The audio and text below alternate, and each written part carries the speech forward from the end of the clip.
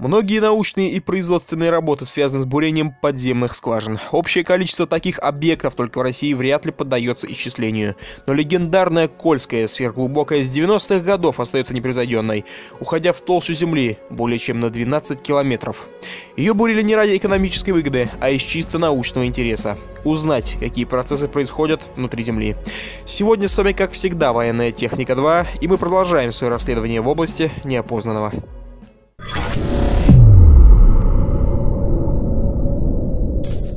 И не забудьте про skinhand.net, где для вас приготовлены халявные скины. Ссылка в описании. Самая удивительная в мире скважина находится в Мурманской области, в 10 километрах к западу от города Заполярный. Ее глубина составляет 12 километров 262 метра. Диаметр верхней части 92 сантиметра. Диаметр нижней части 21,5 сантиметров. С конца 19 века известна теория о том, что наша планета состоит из коры, мантии и ядра. Но где именно кончается один слой и начинается следующий, ученые могли только предполагать. По наиболее распространенной версии, до 3 километров вниз идут граниты, Далее базальты. А на глубине 15-18 километров начинается мантия. Все это предстояло проверить на практике. Подземные исследования 60-х годов напоминали космическую гонку. Ведущие страны старались опередить друг друга. Высказывалось мнение о том, что на большой глубине находятся богатейшие залежи полезных ископаемых, в том числе и золота. Проект стал одним из самых масштабных в СССР. На скважине работало 16 научно-исследовательских лабораторий. Устроиться сюда было не менее трудно, чем попасть в отряд космонавтов. Рядовые сотрудники получали тройную зарплату и квартиру в Москве или Ленинграде. Неудивительно, что текучки кадров не было вообще, а на каждое место претендовало не менее 50 кандидатов. До глубины 7263 метра проход велась с помощью обычной серийной установки, которую в то время использовали для добычи нефти или газа. Этот этап занял 4 года. Потом был годичный перерыв для строительства новой вышки и монтажа более мощной установки «Уралмаш-15 созданной в Свердловске и получившей название «Северянка». В ее работе использовался турбинный принцип, когда вращается не вся колонна, а только буровая головка. С каждым пройденным метром вести проходку становилось сложнее. Ранее считалось, что температура породы даже на глубине 15 километров будет не выше 150 градусов по Цельсию. Но казалось, что на глубине 8 километров она доходила до 169 градусов, а на глубине 12 километров и вовсе составила 220. Оборудование быстро выходило из строя, но работы продолжались без остановки. Задача первыми в мире достигнуть 12-километровой отметки была политически важной – ее удалось решить к 1983 году, как раз ко времени начала Международного геологического конгресса в Москве. Но главное, специально к Конгрессу была подготовлена настоящая сенсация. Выяснилось, что образцы пород, взятые на трехкилометровой глубине Кольской скважины, полностью идентичны лунному грунту. Ученые давно предполагали, что Луна когда-то являлась частью Земли и оторвалась от нее в результате космической катастрофы. Теперь можно было говорить о том, что отколовшаяся часть нашей планеты миллиарды лет назад соприкасалась с районом нынешнего Кольского полуострова. Сверхглубокая скважина стала настоящим триумфом советской науки. Исследователей конструкторов, даже простых работников, чествовали и награждали почти целый год.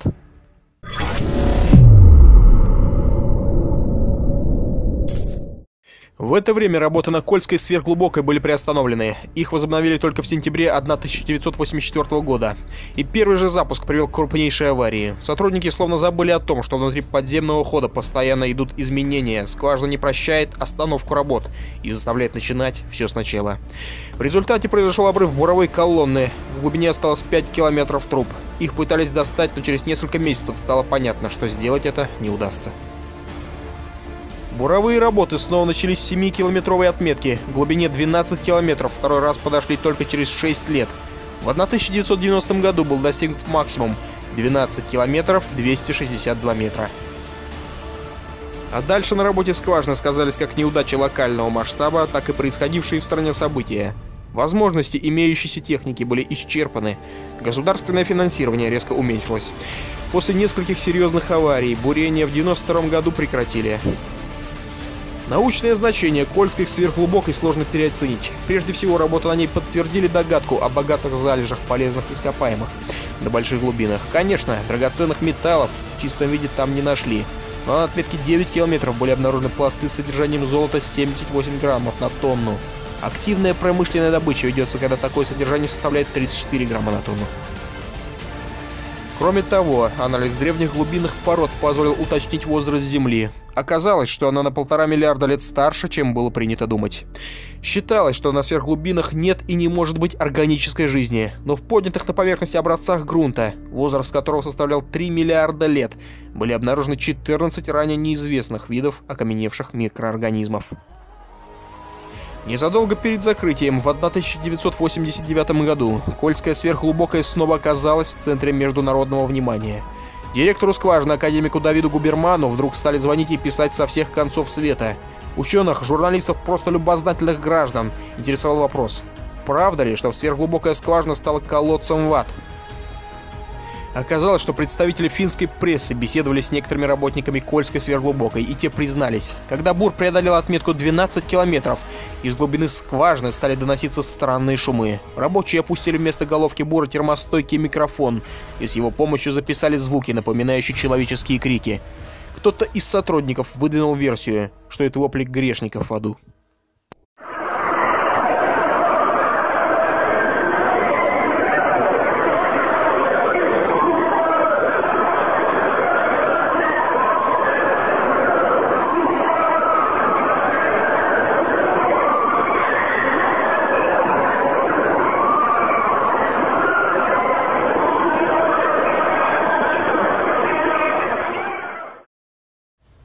Насколько такие рассказы соответствуют истине?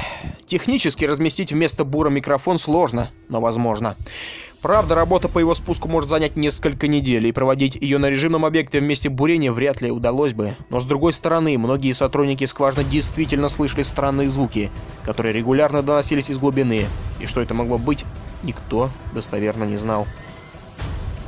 С подачи финских журналистов мировая пресса опубликовала ряд статей с утверждениями, что Кольская сверхглубокая – это дорога в ад. Мистическое значение стали приписывать и тому факту, что СССР распался, когда буровики вели проходку несчастливой 13 тысячи километров. В 1995 году, когда станция уже была законсервирована в глубине шахты, произошел непонятный взрыв – Хотя бы по той причине, что там нечему было взрываться. Зарубежные газеты сообщили о том, что через проделанный людьми ход в недра земли на поверхность вылетел демон. Из здания пестрили заголовками типа «Сатана сбежал из ада». Директор скважины Давид Губерман в своем интервью честно признался. Он не верит в ад и демонов, но непонятный взрыв действительно имел место, как и странные шумы, напоминающие голоса. Причем обследование, проведенное после взрыва, показало, что все оборудование в полном порядке.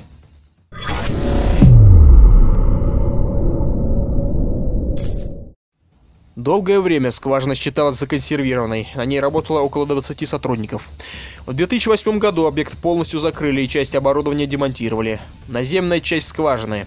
Здание величиной с 12-этажный дом, сейчас оно заброшено и постепенно разрушается. Иногда сюда приезжают туристы, привлеченные легендами о голосах из ада.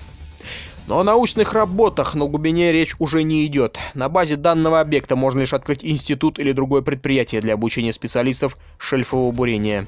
Или создать музей, ведь Кольская скважина продолжает оставаться самой глубокой в мире.